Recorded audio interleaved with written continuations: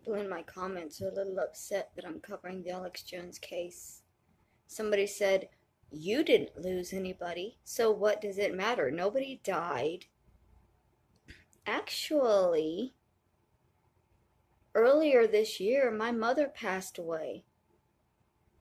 I found out through an email that was extremely cruel.